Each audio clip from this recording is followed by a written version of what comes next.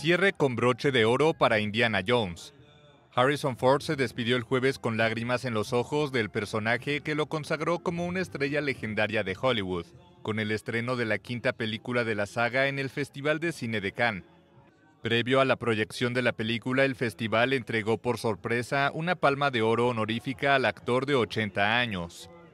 La franquicia arrancó en 1981 con Indiana Jones y los Cazadores del Arca Perdida, un éxito inmediato y mundial.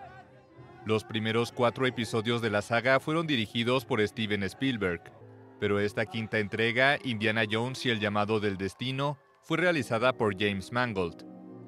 Entre las producciones en competición fue presentado el documental Youth Spring, de 3 horas con 40 minutos de duración del chino Wang Bing, las obras de Bing, filmadas de forma discreta y a veces incluso clandestinamente, retratan la profunda mutación social en China bajo el gobierno comunista. En esta ocasión el cineasta sigue con su cámara a jóvenes que abandonan por millones sus aldeas del interior del país para trabajar a destajo en talleres textiles en ciudades como Shanghai.